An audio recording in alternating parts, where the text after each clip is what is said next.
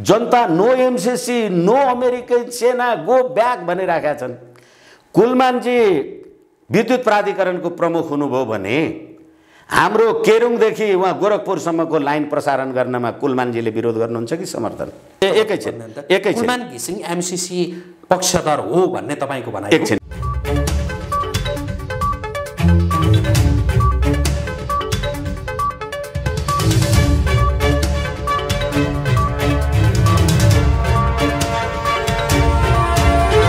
नमस्कार।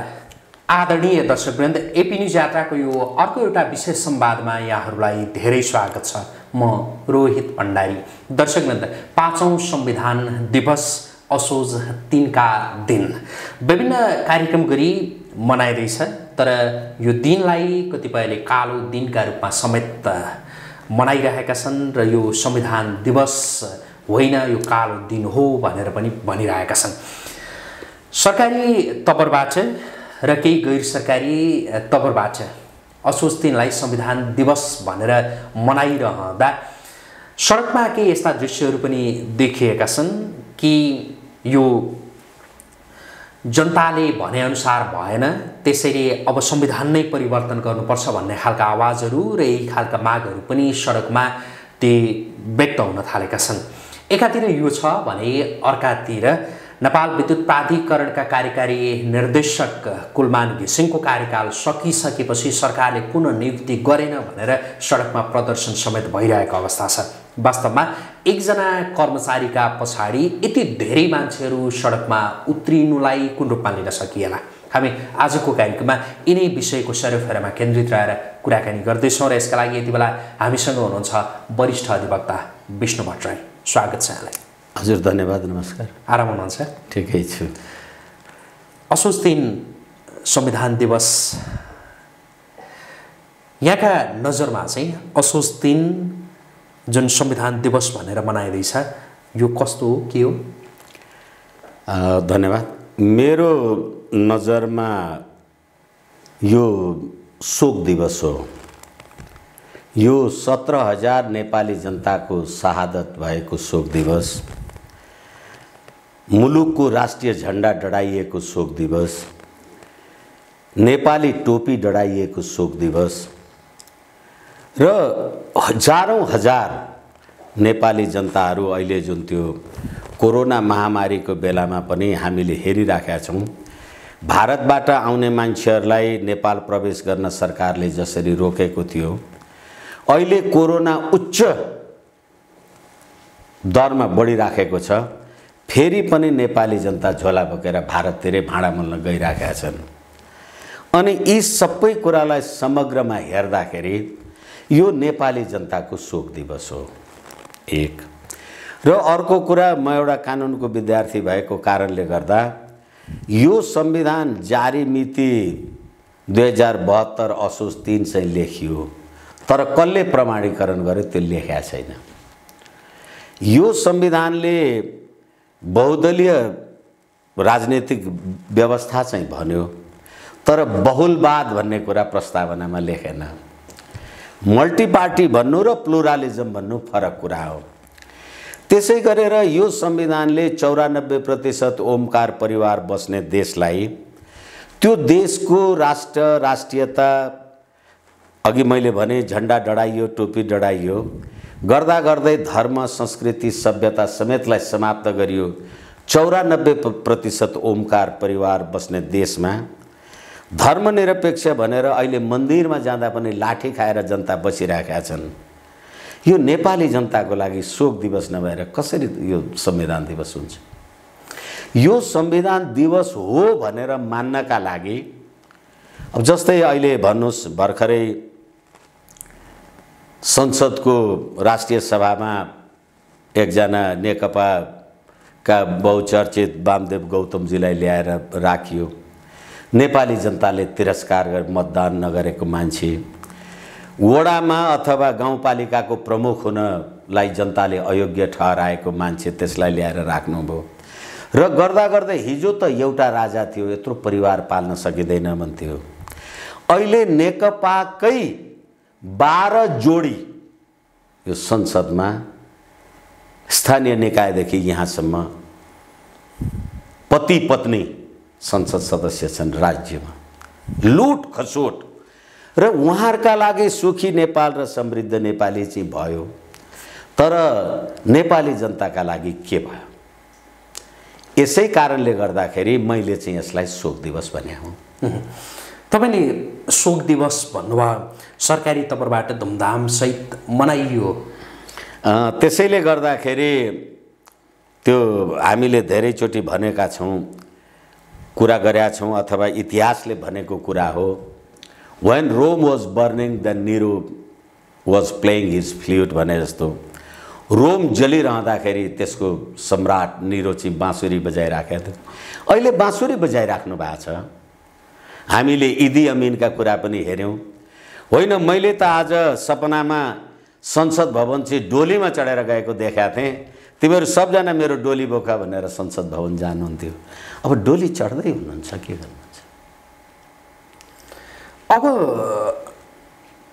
के त भन्ने विषयमा लामै समय यहाँसँग कुराकानी गरियो। यहाँले त यो अहिलेको व्यवस्था नै ठिक छैन। यो व्यवस्थाले देशहित जनहित गर्दैन भनेर बारम्बार भनि नै रहनु भयो अब निकास चाहिँ कसरी निस्किन सक्छ के हुन सक्छ या यही अवस्थाबाट नै देश गुज्रिरहन्छ के लाग्छ? अब एउटा कुरा चाहिँ के हो भने फेरि पनि म भनौँ यो आज जसलाई म शोक दिवस र सरकारवाला मान्छेहरू संविधान दिवस भन्दै हुनुहुन्छ। हिजो नेपाल सरकारको उप प्रधानमन्त्री भएको मान्छे उपेन्द्र यादवजी आफैले राष्ट्रिय झन्डा हालेको गाडीमा चढेर गएर कालो दिन मनाउनु भयो। त्यसै गरेर संसदीय व्यवस्था भनेको खसीको टाउको देखाएर कुकुरको मासु बेच्ने थलो हो भनेर प्रचण्डजी बाबुरामहरूले बाहन्न सालमा चालिस बुँदे ज्ञापन शेरबहादुर देवाजीको गभर्मेन्टलाई बुझाएर जानुभएको सत्र हजार नेपाली जनता मार्दाखेरि त्यो संसदीय व्यवस्थाको खसीको टाउको देखाएर कुकुरको मासु उहाँहरूले कति खानुभयो। त्यो त्यसको हिसाब नेपाली जनताले राखेका छन्। आजै पनि मैले शेरबहादुर देवाजीको कथन सुन्दै थिएँ। होइन यो संसदीय पद्धतिलाई चाहिँ अनुकूल रूपबाट लिएर जाओस् सरकारले यो कुरा गरोस् भनेर भन्नुभयो। गर्दै गर्दा देशमा संसदीय पद्धति नै खतरामा परेछ अब। सर्वहाराको अधिनायकवादवाला किनभने साम्यवादी साथीहरूले चाहिँ राज्य चलाएको कारणले अब संसदीय व्यवस्था नै जाने भयो भन्ने कुराले गर्दा। त्यसैले अबको निकास भन्ने कुरामा जसले तपाईँको धर्म संस्कृति सभ्यता राष्ट्र राष्ट्रियता राष्ट्रिय एकता अखण्डता ती सम्पूर्ण कुरामा नेपाली जनताको शिर निहुर्याउने काम गरेको छ भने हिजो हामीले सत्तालिस सालको संविधान अन्तर्गत जसरी सबै राजनीतिक शक्तिहरूलाई दलहरूलाई एउटा राष्ट्रिय मूलधारमा र राजा राष्ट्रिय एकताको प्रतीक हुन्छ भनेर संवैधानिक राज संस्थाको जुन व्यवस्था गरेका थियौँ अहिले वास्तवमा लाज त उहाँहरूलाई पनि लाग्छ होला। यहाँसँगै कुरा गर्दाखेरि राष्ट्रपतिजीले दल विभाजन सम्बन्धी अध्यादेश र संवैधानिक संवैधानिक परिषदको गठन सम्बन्धी अध्यादेशको बारेमा कुरा गर्दा एउटा पार्टीको कार्यकर्ताको हैसियतले काम गर्नुभयो। भनेर जे भनेर आइराखेका छौँ तपाईँले बनाउनु यो संविधानले कल्पना गरेका एकपछि अर्को संरचनाहरू त्यो राष्ट्रिय एकता र अखण्डताको पक्षमा भएनन्। अहिले त्यो स्टुलमा चढेर एउटा तौलिया राखेर सलामी लिने मान्छेहरू सात सय त्रिसठीवटा जुन बन्दोबस्त गरिराख्नु भएको छ र नेपाली जनता मरे पाँच सय रुपियाँ करतिर खोलो तर्नु पऱ्यो भने पनि हजार रुपियाँ करतिर छ खोलो त उहाँले बनाएको होइन नि। यस्तो अवस्थामा यो व्यवस्था नेपाली जनताको व्यवस्था होइन भन्ने कुरा स्थापित भएको कारणले गर्दा अब जनताले सत्तालिसको संविधानले व्यवस्था गरेका मूलभूत मान्यताहरूलाई अहिले भ्रष्टाचारको बारेमा आम सञ्चारमा तपाईँहरूले धेरै कुरा गर्नुहुन्छ। मैले अरू आम सञ्चारमा पनि भनेको छु आज तपाईँ मार्फत पनि यो कुरा निवेदन गर्न चाहन्छु। हाम्रो संविधानको धारा मलाई लाग्छ दुई सय उनासीले अख्तियार दुरुपयोग अनुसन्धान आयोगको व्यवस्था गरेको छ। अख्तियार दुरुपयोग अनुसन्धान आयोगले ठुला माछा समाउने साना माछा समाउने तपाईँहरू सोधिरहनुहुन्छ नि। किन अख्तियारले ठुला माछा समाउँदैन भन्ने कुरा म तपाईँलाई निवेदन गर्दैछु। समाउँदैन होइन समाउन सक्दैन। किनभने एक सय एक संविधानको धारा एक सय एक लाग्ने ओहदाको मान्छेलाई अख्तियारले पक्रिन सक्दैन र न्यायपालिकाभित्रको भ्रष्टाचार पनि अख्तियारले पक्रिन सक्दैन। संविधानको धारा एक सय एक भनेको के हो? भनेदेखि राष्ट्रपति उपराष्ट्रपति प्रधान न्यायाधीश अथवा संवैधानिक अङ्गका प्रमुखहरू जो जो छन् तिनीहरूले पदीय कर्तव्य पुरा गरेनन् भने एक सय एक बमोजिम संसदमा महाभियोग लगाउनुपर्छ। संसदमा महाभियोग किन लगाउनुपर्छ? भन्यो भने हिजो संसदीय सुनवाई समितिबाट पास भएर जानुभएको छ। अनि जसलाई संसदीय समितिले संसदले महाभियोग लगाएर निकाल्छ त्यसलाई तिमीले पक्रिन पाउँदैनौ भनेपछि भ्रष्टाचार खरदारले गर्छ र सत्तरी करोड पचास अरब खरब सरब जे जे होस् जी टू जी भन्नुहोस् अथवा ओम्नी भन्नुहोस् जे जे भन्नुहोस् त्यो संविधानको धारा एक सय एक लाग्नेले मात्रै गर्छ नि। अनि यो संविधान नेपाली जनताको संविधान। र चौरानब्बे प्रतिशत ओमकार परिवार बस्ने देशमा तपाईँले कसलाई सोधेर धर्मनिरपेक्ष लेख्नुभयो? त्यति मात्रै होइन म तपाईँलाई फेरि निवेदन गरौँ। यो संविधानले धर्मनिरपेक्ष भन्ने कुरा यसको प्रस्तावनामा लेख्या छैन। म तपाईँलाई निवेदन गर्दैछु धारा चारमा चाहिँ तपाईँले धर्मनिरपेक्ष लेख्नुभयो। अनि छब्बिसमा गएर के भन्नु भने सबैले आफ्नो धर्म मान्न पाउँछन् र धर अर्काको धर्म मान्नलाई खलल पुग्ने काम चाहिँ कसुर हुन्छ अपराध हुन्छ भन्नुभयो। अहिले अस्ति बिस गते हामीले पुलचोकमा ललितपुरमा रथ तान्ने कुरामा सरकारले त्यो धर्मको विशृङ्खल गर्यो त्यसलाई अपराध लाग्यो। अहिले तपाईँ जहाज गाडी मोटर ज हवाई जहाज पसल सारा कुरा खोल्नु भएको छ। तपाईँ होली वाइन चाहिँ बन्द गर्नुहुन्न अनि पशुपतिनाथ जान चाहिँ रोक्नुहुन्छ। त्यसो मात्रै होइन पशुपति विकास कोष चाहिँ खडा गर्नुहुन्छ। लुम्बिनी विकास कोष पनि खडा गर्नुहुन्छ। तर त्यहाँ चाहिँ अब जनता प्रणाम गर्न जान पाउँदैन। भने यस्तो संविधान यस्तो व्यवस्था कसरी नेपाली जनताको व्यवस्था हुनसक्छ अब निकास के? त्यसैले मैले भने सत्तालिसको एउटा संविधान। निकास के र निकासको त्यो प्रक्रिया हो। हामीले हामीले सत्तालिस सालको संविधानलाई जुन प्रकारले अथवा एउटा ढुङ्गा मुढा पथरा जे जे आदि इत्यादि गरेका थियौँ त्यो कुरामा अब हामीले चाहिँ रिथिङ्क गर्नु पर्यो। त्यो संविधानले परिकल्पना गरेको त्यो संविधानले राज्य सञ्चालन गरेको पद्धति प्रणालीलाई हामीले किन र कसको इच्छामा चाहिँ हटाउनु पर्यो? त्यसको त जस्टिफाई भएन। यसै कारणले त्यसको निरन्तरता र फेरि के हो भने संविधान समाज सञ्चालनको विधान हो। समाजको सोच चाहिँ युग अनुसार परिवर्तन हुन्छ। The constitution is the changing mode of society भन्छौँ। अब समाजको त्यो हिजोको मोड बैसठी त्रिसठीको मोड परिवर्तन भयो। अब यो आवश्यक छैन। यसै कारणले गर्दा हामीले हाम्रो राष्ट्र राष्ट्रियता राष्ट्रिय एकता अखण्डता को बारेमा सत्तालिसको संविधानले गरेका बन्दोबस्तहरूलाई नै बन्दोबस्त गर्नु यी एक मात्र विकल्प हो। मेरो विचारमा मेरो मेरो तपाईँसँगको निवेदनमा त्योभन्दा बाहेक अर्को विकल्प छैन। सडचालिस सालको संविधानमा त्यो फर्किने जाने त्यो प्रक्रिया चाहिँ कि? अब अहिले राजनैतिक दलहरू जसले यो पछिल्लो पटकको संविधान संविधान सभा मार्फत निर्माण गरे। उनीहरू यो संविधान उत्कृष्ट भनेर भनिरहेका छन् र संविधान दिवसकै दिन नेताहरूले दिएका शुभकामना सन्देश तपाईँले पनि सुन्नुभयो होला भने कसले चाहिँ त्यो सडचालिसमा फर्किने अब त्यसको बाटो कसले चाहिँ पढ्ने कसले त्यो बाटोमा हिँड्ने त्यसको प्रक्रिया के हुने? म तपाईँलाई शब्दको लागि क्षमा चाहौँ। यो संविधान अथवा बैसठी त्रिसठीको आन्दोलनलाई नेतृत्व गर्ने र त्यसमा सहभागी हुने एउटा पनि मान्छेले र शक्तिले यसलाई उत्कृष्ट भनेको छैन यसलाई उत्कृष्ट भन्ने त मेरी बिल्ली मुजिसी म्याउ जसले राज संस्थाको कुरा गरेर चाहिँ त्यो त्यो त्यो संविधान सभामा जे जे गरेको थियो त्यसले भनेको मात्रै। केपी शर्मा ओलीजीले उत्कृष्ट भन्नुभएको छ यो। पुष्पकमल दाहालजीले भन्नुभएको छ। शेरबहादुर देवाजीले भन्नुभएको छ। किनभनेदेखि म तपाईँलाई जिम्मेवारीका साथ भन्न सक्छु। यो एउटा समझदारीको दस्तावेज हो। यसको जे यसको अपनत्व मैले अघि उपेन्द्र यादवजीवाला कुरा गरेँ र यसको अपनत्व अथवा अस्ति भर्खरै राष्ट्रिय झन्डा डढाएको कुरा गरेँ मैले यसको अपनत्व कसले लियो? त राष्ट्रिय झन्डा डढाएको अपनत्व शेरबहादुर देवाजीले लिनुभयो? केपी शर्मा ओलीजीले लिनुभयो? उपेन्द्र यादवजीले लिनुभयो? मधेस इज नट नेपाल भन्ने शक्तिसँग सम्झौता गर्ने केपी ओलीजी होइन भने।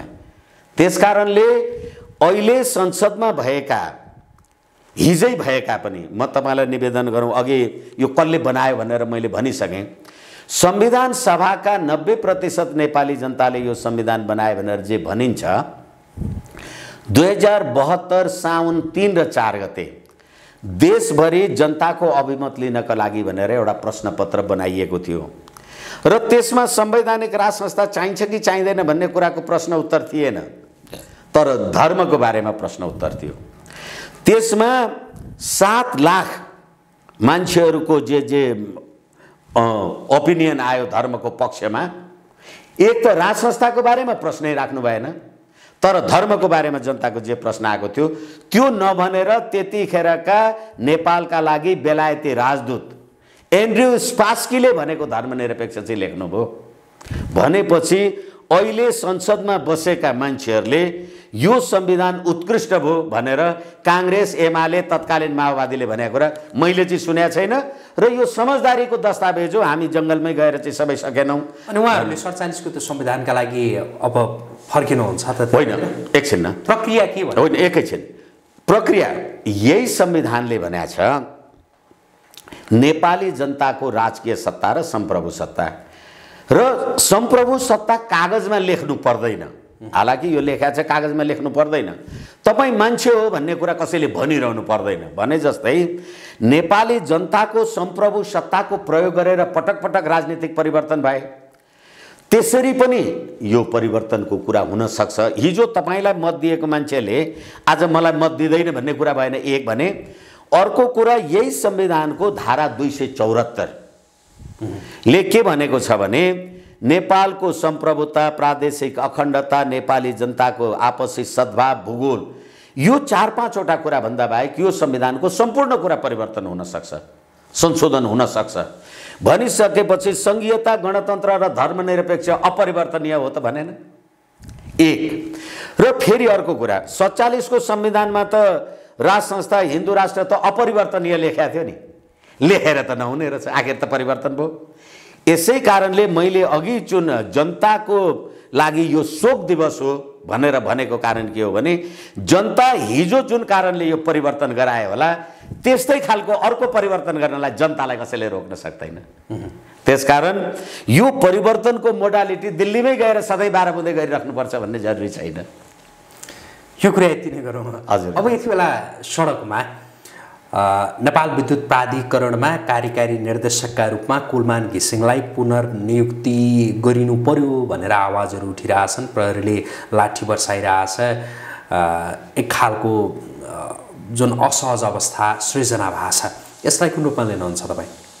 म यसलाई कुलमान घिसिङजीलाई कार्यकारी प्रमुख बनाउने पनि सरकार होइन भने। अनि त्यत्रो महान मान्छेलाई सरकारले बनाएको रहेछ त जनता सरकारलाई किन आशीर्वाद नदिएको? ठुलो मान्छे ल्याएको रहेछ हाम्रो मान्छे ल्याएर छ भन्नु नि सरकारलाई। हामी कहिलेकाहीँ भन्ने गर्छौँ अथवा आम रूपमा भन्ने गरिन्छ तपाईँ अमुक पदमा नियुक्ति अथवा निर्वाचित अथवा जे हुनुभएछ तपाईँको कार्यकाल सुखमय रहोस् भन्छौँ नि। तपाईँको कार्यकाल तपाईँको कार्यकाल आजीवन रहोस् त भन्दैनौँ। भनेपछि कुलमानजीको कार्यकाल सिद्धिएको पो त। निकालेको त होइन नि। र उहाँले आफ्नो कार्यकालमा राम्रो काम गर्नुभयो भन्ने कुराको बारेमा विवाद छैन। तर मलाई के लागिराखेको छ भने कुलमानजीले मात्रै राम्रो गर्नुहुन्छ अर्को आउने मान्छे चाहिँ चोरै हुन्छ भन्ने धारणा त बनाउनु भएन नि। तपाईँले अर्को आउने मान्छेलाई यो मान्छे खराबै छ भन्न पाउनुहुन्छ? Every people is innocent unless prove guilty मान्छे सबै भलाद्मी हुन्छन् भन्ने अनुमान गरिन्छ जबसम्म उसले कसुर गरेको हुँदैन। अर्को मान्छे आउँदाखेरि चाहिँ त्यो चोरै हुन्छ नालायकै हुन्छ भ्रष्टै हुन्छ भनेर तपाईँले कसरी अनुमान गर्नुहुन्छ? यसको अर्थ यति बेला सडकमा कुलमान घिसिङका पक्षमा निस्किरहेका ती जुलुसहरू आन्दोलनहरू यहाँलाई चित्त बुझिरहेको छैन। मान्छेहरू किन निस्किरहेछन् भनेर अचम्मित होइन किन किनभने नि कहिले कुरा के भने मैले अरू पनि उसमा भन्ने गरेको छु। एउटा टुरिस्ट गाइडले एउटा अङ्ग्रेज मान्छेलाई कहीँ उसमा लिएर जाँदै थियो बाटोमा भालु निस्किएछ। भालुले त मान्छेलाई खाने भयो। खाने भएपछि त्यो टुरिस्ट गाइडले भने चाहिँ ए भालु आयो लुक लुक भनेछ। भने चाहिँ गोप्य हो लुक भनेको थियो। अङ्ग्रेजले त हेर हेर भन्ने बुझ्यो नि त। अनि हेर्न जाँदाखेरि खाएछ अरे के यो त्यस्तै भइरहेको छ। तपाईँले अरू जनतालाई अथवा अरू आउने कुलमान बाहेकका अरू सम्पूर्ण मान्छे अयोग्य छन् र तिनीहरू बदमासै हुन् भन्ने धारणाले गरे हो यो? तपाईँले सम्पूर्ण अरू जनता अरू मान्छेहरूलाई न्याय गर्नुभयो? एक। र अर्को कुरा के हो भने अहिले एमसिसीको प्रश्न उठिराखेको छ। हिजो सत्ताधारी दलको कार्य सत्ताधारी दलका प्रखर आफूलाई एमसिसी विरोधी हुँ भन्ने मान्छेहरूले यिनीहरूले प्रकारान्तरले एमसिसी पास गराए। यो यो कसरी गराए तपाईँको प्रश्न हुन्छ म अहिले जवाब दिउँला। पास गराए उनीहरूले। अनि अब अहिले कुलमानजी विद्युत प्राधिकरणको प्रमुखको लागि चाहिँ जनताले भनिरहेका छन्। जनता नो एमसिसी नो अमेरिकन सेना गो ब्याक भनिरहेका छन्। कुलमानजी विद्युत प्राधिकरणको प्रमुख हुनुभयो भने हाम्रो केरुङदेखि उहाँ गोरखपुरसम्मको लाइन प्रसारण गर्नमा कुलमानजीले विरोध गर्नुहुन्छ कि समर्थन? अनि त्यति त्यतिखेर एमसिसी त्यतिखेर विद्युत विद्युतकै विस्तारको कुरा हो नि त्यो। त्यो के गर्नुहुन्छ कुलमानजीले? त्यसलाई नो भन्नुहुन्छ कि यस भन्नुहुन्छ? त्यो ठाउँमा उहाँको ठाउँमा अरू कोही कसै भए एक एकैछिन त्यसैले अर्को हुने कुराको बारेमा हामीले विकल्पको बारेमा कुरा गरिरहेका छैनौँ। निर्वि निर्विकल्प हो भनिरहेको छौँ त्यस कारणले गर्दाखेरि मेरो चाहिँ मेरो आफ्नो ओपिनियन मेरो धारणा के हो भनेदेखि तपाईँले अथवा हामीले अहिले कसैलाई कुनै कसुरै बिना अपराधी घोषित गर्नु भएन। एक र अर्को कुरा के भने भोलि यो देशमा कुलमानजी रहनु भएन। उहाँको भौतिक अस्तित्वै भएन भने नेपालमा बत्ती नै बल्दैन। र फेरि उहाँले जुन चार वर्षको कार्यकाल सफलतापूर्वक सम्पन्न गर्नुभयो उहाँप्रति मेरो पनि हार्दिक कृतज्ञता छ बधाई छ। तर के हो भनेदेखि यो चार वर्षमा त धेरै हाम्रा विद्युतीय आयोगहरू यो जलाशय सम्बन्धी प्रोजेक्टहरू यो यो मोदी खोला कोनिके खोलावालाहरू विद्युत प्राधिकरणको ग्रिडमा त जोडियो होला नि। अनि कुलमानजी जाँदा त्यो लिएर जानुहुन्छ भने? कि छोडेर जानुहुन्छ? यी के भने भने? एक थरी मलाई आम सञ्चारको साथी भन्दाखेरि कुलमान घिसिङलाई विद्युत प्राधिकरणमा नियुक्त नगरे पनि अब फरक पर्दैन। होइन न नगरे नगरे पनि होइन कि उहाँ मात्रै योग्य हो भन्ने कुराको जुन धारणा छ अरू पनि योग्य छन् भन्ने धारणा बुझे हुन्छ। र यो यसैका लागि हामीले जे कुरा गरिराखेका छौँ र जसरी हामी एमसिसीको विरोध गरिराखेका छौँ त्यो एमसिसीको विरोध टर्छ यसले। र अहिले अमेरिकामा कुलमानजीको पक्षमा यो यो अहिले गर्नुपर्छ भन्ने जुलुस निस्क्यो भन्ने आम सञ्चारमा सुनेको हेरेको मैले देखाएको छु। त नेपालीहरू अमेरिकामा मात्रै बस्छन् अस्ट्रेलियामा बस्दैन बेलायतमा बस्दैनन् दक्षिण कोरियामा त हामी त कति पठाइ नै राखेका छौँ बस्दैनन्। भन्नुको तात्पर्य एमसिसीसँग उहाँको र फेरि के हो भने अहिले एकजना विद्युतको कार्यकारी प्रमुख राख्ने र नराख्ने कुरामा यत्रो कुरा के यो स्वतस्फूर्त मात्रै भएको छ कि यो प्रायोजित पनि छ? विचार त गर्नु पऱ्यो नि। र अमेरिकामा प्रदर्शन हुन्छ। अनि यहाँ अब वामदेव गौतमजीलाई ल्याउँदा त उहाँ प्रदर्शन भयो त चुनाव हारेर ऊ भएको मान्छे। गाउँपालिका नगरपालिकाको चुनाव हारेर मान्छेलाई अप्पर हाउसमा ल्याउँदा त भएन त। जनताको त्यसैले सुरुमै जनताको राजकीय सत्ता र सम्प्रभु सत्ता। र फेरि मैले भन्दैछु अहिले हामी यो यो कोरोना महामारीको कारणले धार्मिक मठ मन्दिरहरू चाहिँ खुला नगर्ने अनि त्यहाँबाट यो के अरे चर्चहरू चाहिँ बन्द नगर्ने। अनि फेरि के हो भने त्यही एमसिसीलाई लागू गर्नको लागि सरकार तल्लीन हुने। भनेपछि सरकारले एमसिसी नै लागू गर्ने थियो भने त कुलमानलाई दोहोऱ्याएर राख्यो भने त भइगयो नि त। सरकार किन गरिराखेका छैन? यसै कारणले गर्दाखेरि तपाईँले विकल्पहरूलाई बन्द गर्ने काम नगर्नुहोस्। कुलमान घिसिङ र एमसिसीको त्यो सम्बन्धका। विषयमा तपाईँले बोल्न खोज्नु बोलिरहनु भयो या मैले नबुझिरहेको? होइन होइन एकैछिन एकैछिन एकैछिन कुलमान घिसिङ एमसिसी पक्षधर हो भन्ने तपाईँको भनाइ? एकछिन न कुलमानजी होइन रे। होइन एकछिनलाई मान्नुहोस्। उहाँ विद्युत प्राधिकरणको प्रमुख हुनुभयो। अनि त्यो एमसिसी अन्तर्गतको विद्युत प्रसारण यी गतिविधिहरूमा उहाँको के हुन्छ भूमिका? पोजिटिभ हुन्छ कि नेगेटिभ होइन उहाँ। एमसिसीको पक्षधर होइन। सरकार त हो नि। के गर्नुहुन्छ त? अब पक्षधर हो रे। अमेरिका प्रदर्शन हुन्छ। बेलायतमा अस्ट्रेलियामा किन हुँदैन? यसकारणले एउटा कुनै मान्छेलाई अमुक ठाउँमा निरन्तर बसिरहन दिनुपर्छ भन्ने यी आग्रह किन भइरहेछन्? यसको लागि र फेरि के भने कुलमानजी जे हुनुहुन्छ उहाँ राजनीतिक रूपले कुनै दल पार्टी आदि इत्यादि कतैसँग सम्बद्ध भएको कारणले भइगयो नि त उहाँ अमेरिकामा हाम्रो पार्टीको भातृ सङ्गठनले जुलुस निकालेछ भनौँला उहाँ त त्यो पनि होइन। त कतिवटा प्रमुख र फेरि कुलमानजी एकदम राम्रो मान्छे हुनुहुँदो रहेछ। हाम्रा बिग्रिएका संस्था त धेरै छन् नि। बिग्रिएका संस्था आरएनएसीमा पठायो भने झन् राम्रो हुने हो कि? होइन यो यो अर्को कुनै संस्थामा पठायो भने राम्रो हुने। न अब भर्खर रेल चल्दैछ न अब यो हाम्रो ट्रली बस पनि चलाउनलाई सक्ने हो कि?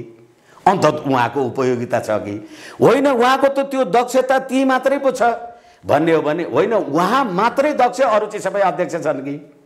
यो यो कुराको बारेमा हामीले विचार गर्नुपर्छ भन्ने मेरो कुरा हो। घन्टौँसम्म लोड सेडिङ हुन्थ्यो। लोड सेडिङको अन्त्य भयो होइन? अब फेरि लोड सेडिङ होला कि भन्ने त्यो त्रासका साथ त्यो त्यसैले- मान्छेहरू के अगुल्टाले हानेको कुकुर बिजुली चम्किँदा तर्सिन्छ भन्ने जस्तो।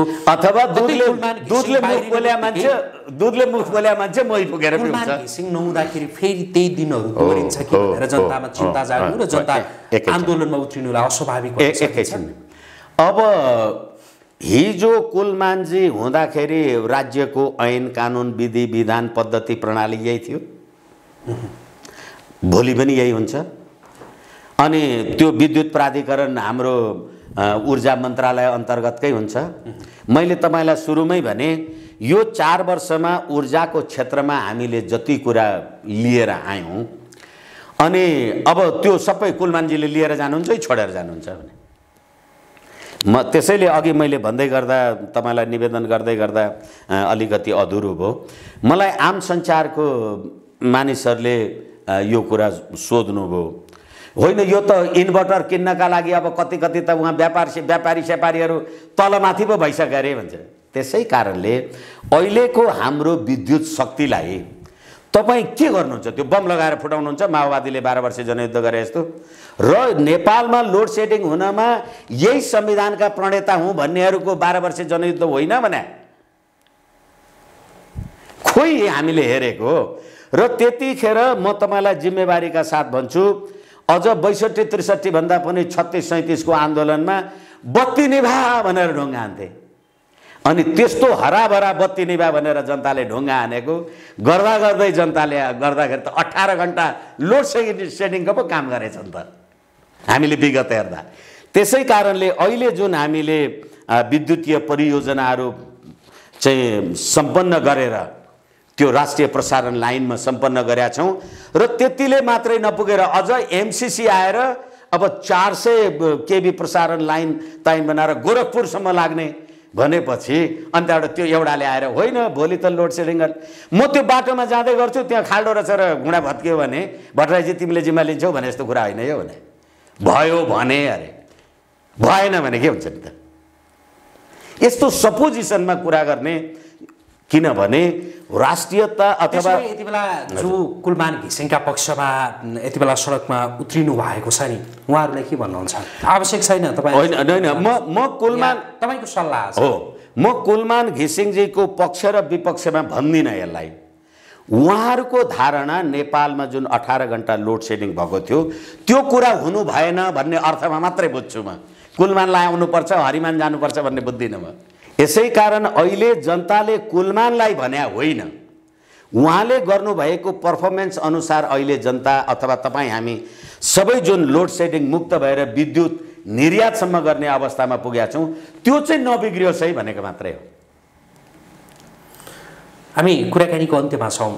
तपाईँले भन्न त भन्नुभयो तर अझ अझ प्रश्नसँग भनिदिनु होला कि कुलमान घिसिङले एमसिसीका विषयमा योभन्दा अगाडि केही प्रश्नसँग बोलिदिनु भएन केही भएन त्यो भएर पनि उहाँको फेरि त्यहाँ नियुक्ति हुँदाखेरि त्यो एमसिसी केही एक खालको त्यो कार्यान्वयनका लागि बल पुग्छ भनेर भन्न खोज्नु भयो कि होइन। या त्यो ठाउँमा सुन्नु न त्यो ठाउँमा अरू जो कोही आए पनि सरकारको निर्देशन त गरिहाल्नु पर्यो होइन? गर्नै पर्छ।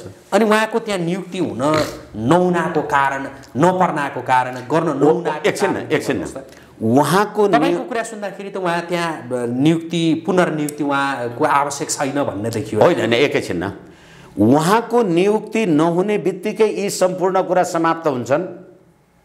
त्यसको के ग्यारेन्टी भयो? एक।